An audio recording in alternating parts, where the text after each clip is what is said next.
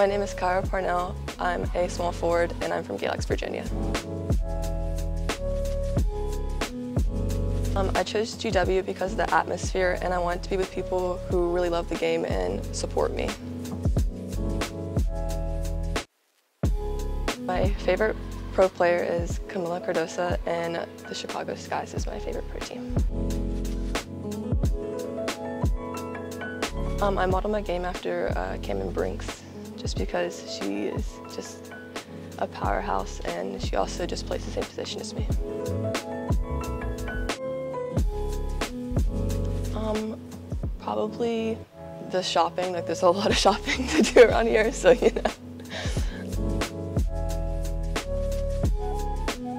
Um, pre-game meal is probably pasta, like just an olive oil pasta, and pre-game snack, mm, probably a Rice Krispie treat.